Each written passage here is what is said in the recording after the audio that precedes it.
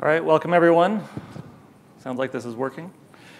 Um, glad to have you here at Extending Kubernetes 101. Uh, I'm Travis Nielsen. I'm a developer uh, for Quantum Corporation, uh, working on the Rook project. Uh, I've been working with um, custom resources in Kubernetes for about the past year uh, while working on Rook. Uh, so I'll tell you some about my journey along the way, and, and then we'll, yeah, we'll walk through some, some examples here about getting started. All right. So first of all, this is really the first talk um, after a great keynote this morning by Yen on extensibility, what you can do with it in, in Kubernetes. Um, so I encourage you to, to look at these other talks today. If you don't, didn't learn what you need to from this presentation, there's lots of other opportunity today. So yeah, a lot of great talks that, that I hope to go to as well. So agenda, um, since this is a 101 course, I uh, wanted to start off by, well, why would you want to extend Kubernetes? And then how would it happen? What are the patterns surrounding Kubernetes? And, and then let's just get right into the code. You know, that's what I do for my day job. I write code. And um, so that's why I want to work, work through my slides pretty quickly uh, so we can get to that, that demo. At the end, uh, if we have a, a couple minutes for Q&A, I'll look forward to your questions. Uh, first of all, the most important uh, pattern that I believe Kubernetes has gotten right and why it's successful is because uh, resources are declarative. If you want to create something, you say, you know, I'm going to just declare it. There's no code, code required. You define your, your manifest in YAML usually, and Kubernetes will go create it for you. Um, you know, for example, you want to create a namespace, you say, I'm going to create a namespace. Its kind is this, and its name is this. Okay, simple. You can't get much simpler than, than that. Any kind of resource you want to create in Kubernetes, you can do with a declaration. Another example, a pod. You know, a pod is the most basic uh, resource that allows you to run code in Kubernetes, any application you want.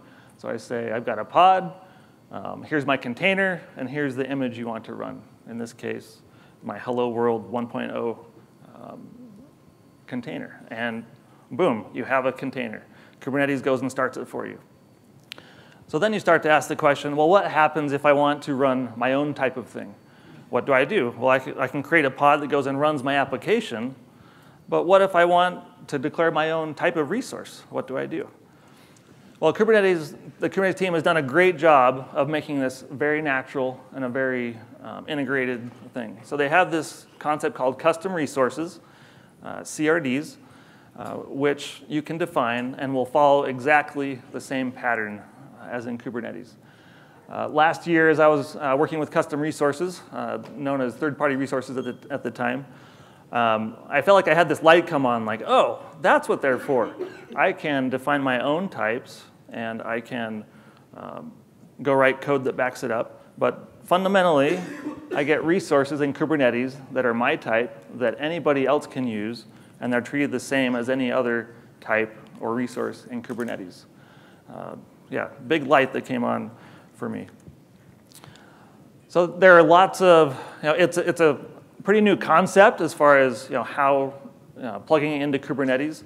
And uh, last year at KubeCon, uh, a couple of examples were announced. The etcd operator was one of those. Um, and that's the first example that I found for, for custom resources, so I just thought I'd start there. What does that look like, and why did they create it? So I went to their GitHub page and, and extracted their, uh, an example of their CRD. So just some things to point out from, from this example. You see, okay, they've defined an API version that whoops, is, is just, it's their own. They define, okay, they're from coreos.com. They've, they define their version, v1 beta 2. They've got their own kind, it's an etcd cluster. Um, and, but when you create this thing now, uh, me as the user, I get to decide, well, what's my etcd cluster called? I give it a name. And these other properties in here are very specific to the etcd cluster. You want three uh, of their etcd servers, and here's what version. And now their etcd operator is going to go orchestrate um, the etcd cluster for you. You declare it, and then they go make it happen. And as a consumer of an etcd cluster, you say, wow, this is great. It's all integrated in Kubernetes in a way uh, that I would expect. Um, another example, Prometheus, follows the same pattern. Um, they have a Prometheus operator that goes and applies these things. Uh, I kind of truncated it, ran out, ran out of some room here. But again, everything down here in the spec section, the bottom half of the, the operator or the YAML there, that's all something that the Prometheus team decided, hey, we need these properties, we'll specify them. Um, our operator will go act on them, um, but you, the user, don't have to write any code. It's just a simple declaration.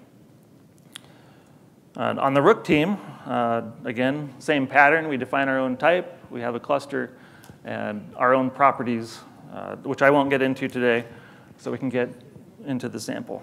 But really, that's the point. We have properties. Uh, you define them, you declare them, and then the code behind it worries all about it and treats them um, as Kubernetes resources for you. So as an example, uh, where we were with Rook is we are working on this distributed data platform. It's a hard problem to solve, and, and we realized, well, we need um, deployment in a way that uh, Kubernetes didn't quite satisfy. We need monitoring. Um, we need to monitor our, um, our cluster to make sure your data is, is safe. We need failover that uh, needs to happen a certain way. We need upgrade. You know, when you have data that needs to be upgraded, uh, the data path, uh, Kubernetes just doesn't know anything about those details. So this, we, we were able to answer all these questions by using the custom resource patterns and then operator to back that up. So traditional approach, and, and actually where I started was, oh, well, how would I do this? Well, I'll just start a pod. It'll run my service. Um, I'll implement it as a REST API.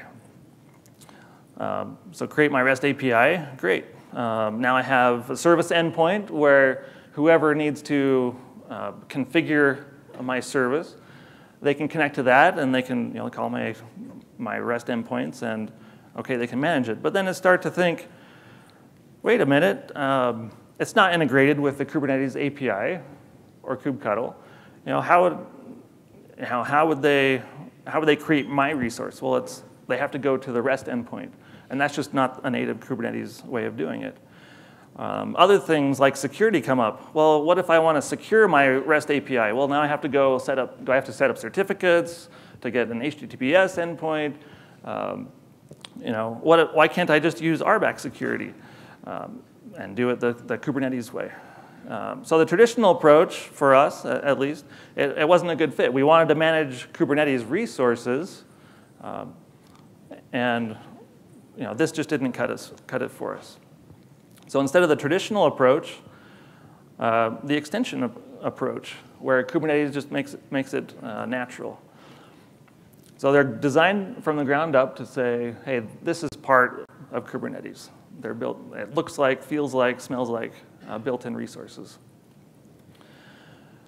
Again, CRDs use a declarative state. And what that means is that if, if I have a YAML file, um, I can say kubectl create my cluster.yaml.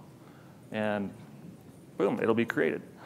Um, if I want to change the specification, the properties that are in that YAML file, I can, well, I can do it with kubectl edit, or you know, however I edit, edit my, my YAML files. When I'm done, um, I can delete the thing, and I can use the name, um, the proper name of my object. I can say delete my cluster and it'll be gone. So simple, right? Um, the, but the power in this is that it's, your custom resources can be consistent across all of Kubernetes. If you want to be taken seriously, uh, be consistent. So that means all the tools, whether it's kubectl or Helm, whether it's the client Go API, whether it's security, um, and, and you know, any other endless number of tools in Kubernetes um, it's going to be consistent with, with how that works. Um, so again, we've already talked about this. Basically, it's declarative. And behind each of these resources, there's a controller in Kubernetes. The controller is what makes it happen. And Yen this morning um, talked about this. She had a much, much prettier picture than, than me. But basically, the controller sits there and it observes for what you want to happen, or it waits for you to declare your, your manifest files. The controller will see when you create it. It will analyze, oh, what do you want to change uh, in your cluster? And then it will go ahead and act and apply changes um, in the cluster, whether you want to you know, add a new resource, whether you want to update it, whether you want to remove that, that resource. That is the controller's job to make that happen. All right, so, th so that's the basic Kubernetes pattern uh, that then we'll go through for custom resources. Uh, so I want to walk through what does it take to write code and, and get a sample operator and, and custom resource running. Uh, the first thing we're going to do is so define. Uh, you need to design your thing. What, what properties do you want in your custom resource? Um, second, you think, well, you know, how can clients consume my resource? Um, you know, with the, you know, I live in you know, Golang land. Um, I want clients to be able to use the client Go API and use strongly typed thing, you know, strongly typed API to say, you know, get or list or delete my objects, all with that. So there, are, in Kubernetes 1.8, actually, uh, the Kubernetes team uh, created this tool that will generate code for your CRDs so that you will have strongly typed resources. So I'll, I'll, get to that in a minute to show you what, you know, what that takes or what that looks like so that you, yeah, generated code. It's wonderful. It, it makes it feel, again, um, like Kubernetes. And you know, the Kubernetes types inside, uh, the built-in types use these same code generators, as I understand.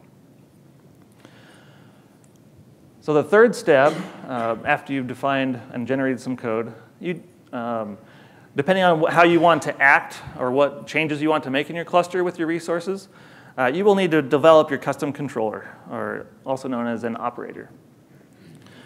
Um, so we, there's three basic steps to implement. Um, you need to first register the CRD with Kubernetes so that it knows that this controller will be watching and uh, applying these changes.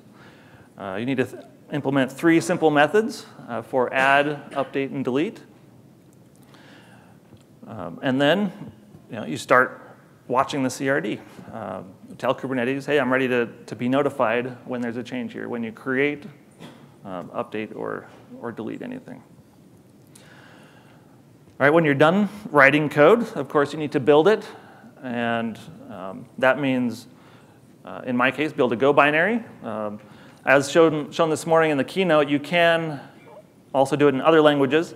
Uh, my demo will all be about the, the Golang implementation. Uh, but the, so you build your binary, uh, you create a Docker container with it, and then uh, we'll need to run that.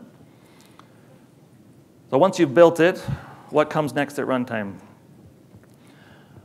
First of all, since it is, uh, it is a pod that you will need to run, a controller, so we will define its manifest. It will have some RBAC rules that say, hey, I need to access uh, Kubernetes resources, uh, depending on what your operator is going to do, if, it, if it's going to be creating uh, other um, namespaces or pods or replica sets, it just needs to declare that. So Kubernetes will, um, will allow the operator to do that. Role bindings, um, yeah, define the basic manifest. Second, go ahead and run the operator. It's a simple kubectl create command. No new pattern there. And then when you're ready to actually create one of your custom resources, uh, you just say kubectl create your YAML file. All right, so let's jump right into uh, what, you know, what all this code looks like. We'll, we'll exit the slides and get to the fun part. All right. Dismiss. All right. Is that big enough? All good? All right, we have our sample uh, manifest um, for the, the simplest hello world CRD that I could come up with. Um, so you get, you see all the, you know, the properties here that, that you get to define. So this is myproject.io. That's my project name. I can declare what version Uh, this is the, the very first thing, so we call it alpha. Uh, I'm going to call it sample. Uh, you can call it anything you want. We'll call it sample. And then the name of this instance I want to create in my sample. And then the interesting part, though, is when you get down to the spec. So in the spec, we get to define any properties here that we want to consume in our CRD. Hello world. All right, let's change this a little bit uh, to make it a little more interesting. I don't want to say hello world. Let's say hello KubeCon. We're here. And well, we still need a world property. So our world is Austin for the day.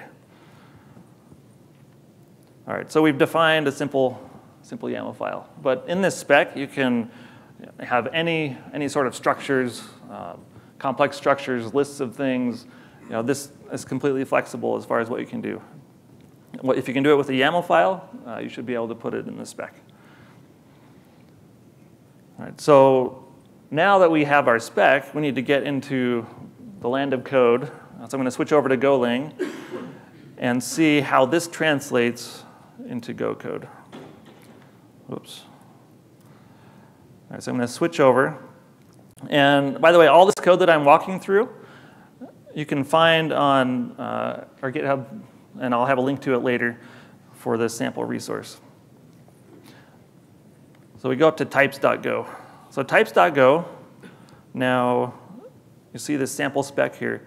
These are all the properties uh, on the Go side that I need uh, to read from the, the YAML file. Okay, so we had hello. Now I changed it from the original sample.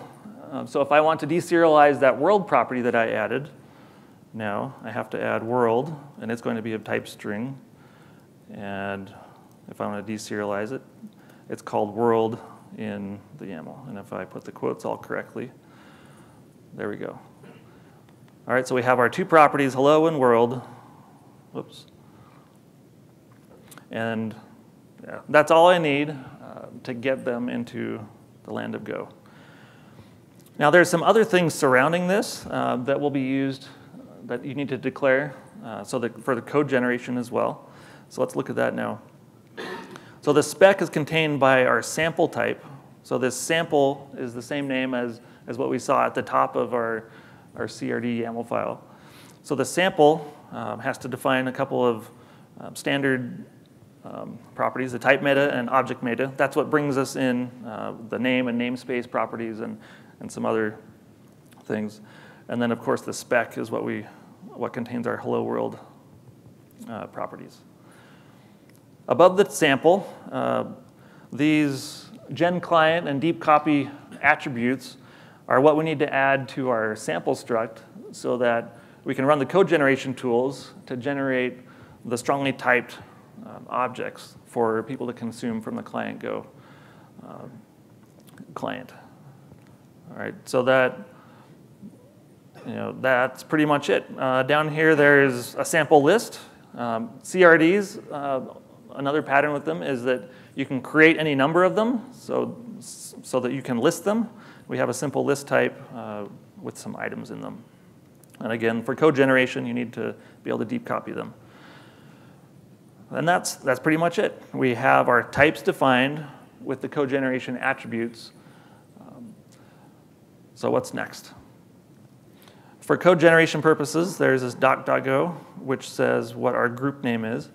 That might be kind of hard to see in the, the gray there, but it's called, so my project um, for, for generating the, the package name and things. But one line of code, simple. If we didn't have these um, copyrights at the top, it'd be a lot shorter. Now, let's see, in this file we have about 60 lines of code, so a little bit more just to show what it takes to register. So we've defined our CRD. Now, what does it take to register our type? Now in this library that, that we've got, a simple library that lets you define custom resources and register them, um, it takes all these properties that you saw in the YAML file will, will be defined here. Uh, and so its name is sample. Um, when you have multiple of them, you're listing them, you need the plural name, samples. Our group name, myproject.io, our version, alpha, yep. th those are all the properties that, that we need for our custom resource. So the operator kit now will, will register those for us. I don't have time really to dig in, and there's just some, kind of some framework around here, these other few lines of code that you can go refer to on, on the GitHub later. Um, but basically, you know, we register these two types, sample and sample list, and Kubernetes will, you know, away we go. Now in our sample project here, we have two other Go files, so after those simple ones. So we've got main.go. We'll just start from the top. Main.go is going to um, create a context, first of all. So the sample client set is what was generated by our, um, by our code generator. Okay, if I look down here, this code for sample client, new for config, this was generated uh, by the code generator. And I'll go, I'll go generate that code actually in a minute after we see the basic code that we had to write to get this going. So after the context, we go ahead and ask our operator kit to create custom resources. So this takes our sample resource and registers it and tells Kubernetes, hey, I'm listening for this object. And now some basic uh, things to watch for signals in the pod, uh, to manage the, the pod lifecycle. But then the, the important part is, okay, let's watch for, um, watch for the custom resource. So this, if I jump into this, uh, and you see I'm going to watch all namespaces for, for our new resource. So when I tell Kubernetes I want to start watching, well, we say, I've got some handler functions. I've got an add method. I've got an update. I've got a delete.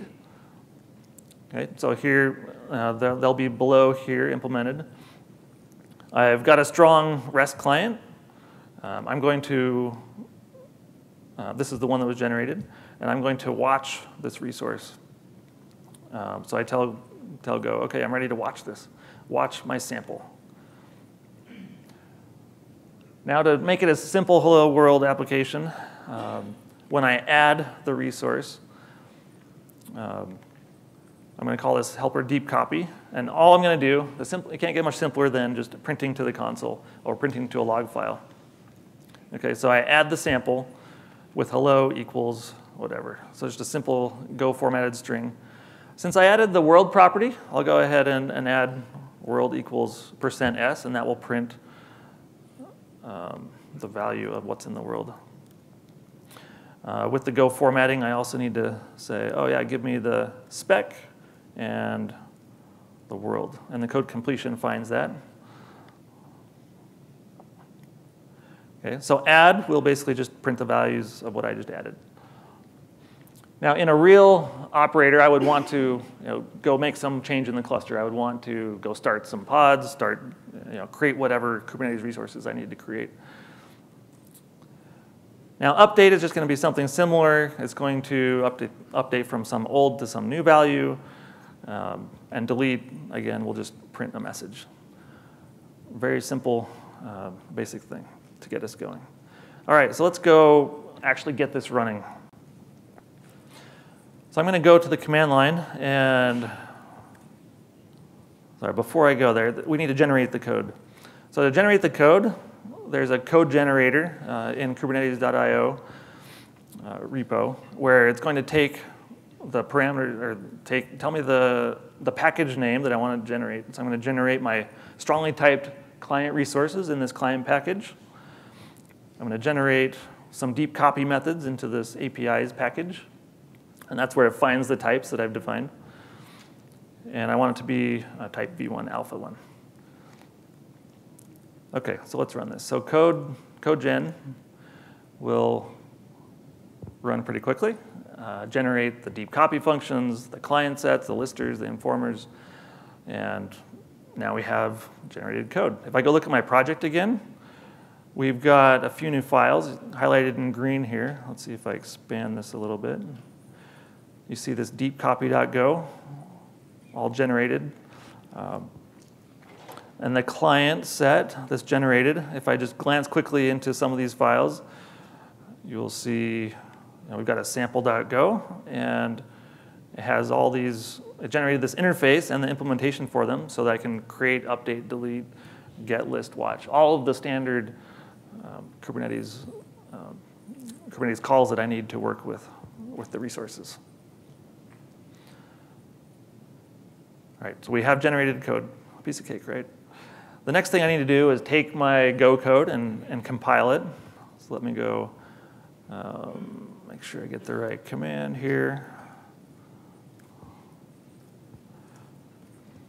Now, if I didn't make any typos, this should complete in just a few seconds, uh, and I'll have my, my Go binary.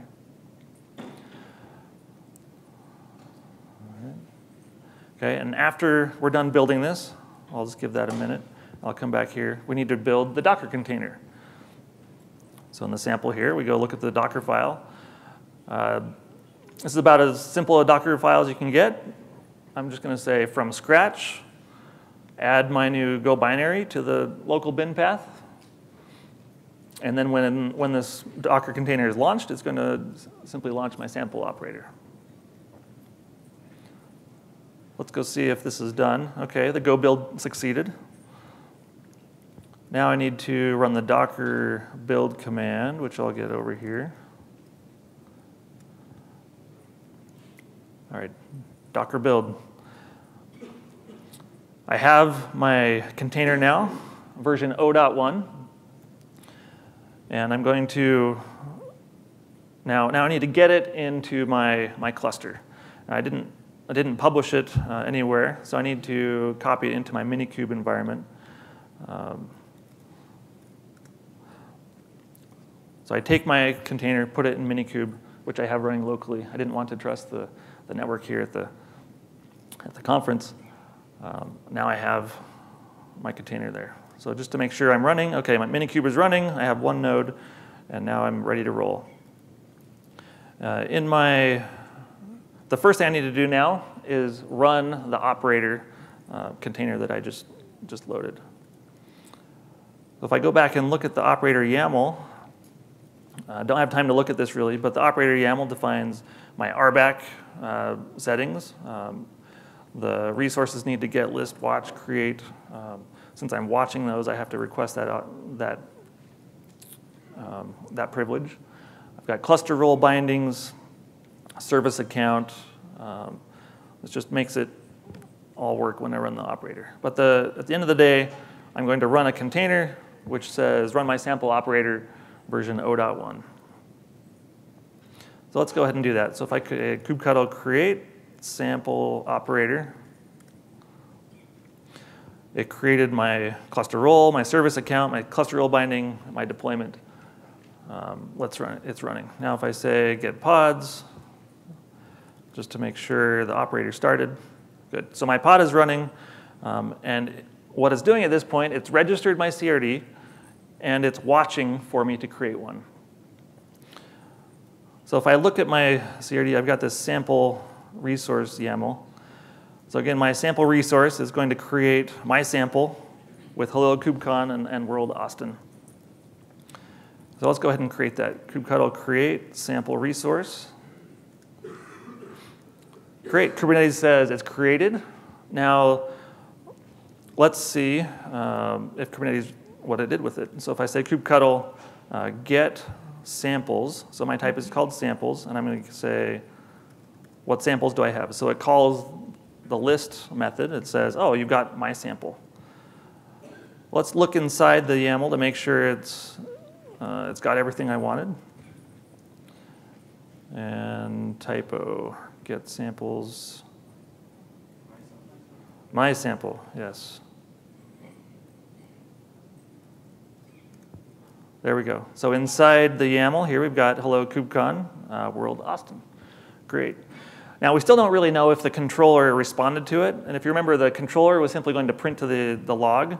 Um, so we, let's look at that, that log now. So kubectl logs, and I, I put a label on it so we could find it, sample operator. So the log says, yes, added sample my sample with hello equals KubeCon and world equals Austin. All right, it worked. Um, and then you can do other things like edit. Um, let's see, we'll try one more command here. If I edit samples, my sample, now we can go in, we can say, hello, KubeCon 2017. Um, and my world is only going to be Austin for a couple more days, and then I'm going to go back home to Seattle. So let's say I want to change to Seattle. All right.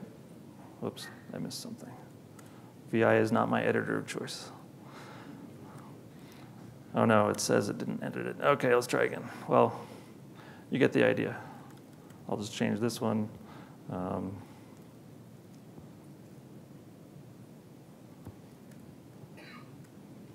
all right, you get the idea. We'll keep the typo. all right, it saved it. And now if I look at the log again, uh, it would say, oh, I changed from KubeCon Austin to KubeCon Seattle. And there we go. We have our, our custom resource. And if I did the same thing, I could, I could go ahead and delete, um, delete samples. By the way, you can fully qualify it if something else has a, or else has a name like that, samples.myproject.io, my sample, and it would go ahead and delete, and the operator would then print to the log file again. So there we go. We have a running sample operator that we created from scratch with the, um, with the code generation and everything. And if I had more time, I'd, you know, I would have spent more time on the client to see, well, what do those strongly types look like? And well, we would see that they look exactly like other Kubernetes resources. Okay, so we just got a couple minutes left um, to go back to the slides here. Uh, we went through the demo already. Um, so takeaways. You know, really, CRDs make Kubernetes extensible. They follow all the same patterns that you'll find with other resources. Uh, CRDs you know, really have a low overhead. Most of your time, once you get set up, is, is going to be inside your business logic, whatever you need to do uh, when your resources are created. Um, since I work for the, the Rook team, if you want to see an a, a, bigger example where CRDs are, in, are implemented, uh, Rook, does, Rook defines five CRDs, actually. We've got cluster, pool, object, file, uh, volume attachment. Uh, all of these are, um, anyway, fully implemented. You can go look for, for more examples there. Uh, Rook, by the way, it's, so it's file, object, and block storage for Kubernetes, um, built on Ceph. Um, we're, we've submitted to the to CNCF, and we're excited about, um, about getting that uh, reviewed there. So thanks for your, your support there. Take a look at it, and um, I'll be in the, the Rook booth today if you have any questions. Uh, here's the links to the projects, the, you know, the operator kit, etcd, Prometheus, uh, Rook, just, and there's lots of other examples out there, that, and it's starting to roll. You'll, if you search for operators on, on GitHub, you'll probably find a number of them. Uh, it's a community that's, that's just growing uh, more rapidly all the time. So if you have any questions, uh, here's my contact information. Um, if you want to, to talk to the experts, they're on the Kubernetes Slack at SIG API Machinery, the creators of the, the custom resources. Um, and again, here's the, the Rook site. So that's it. Let me know if you have any questions.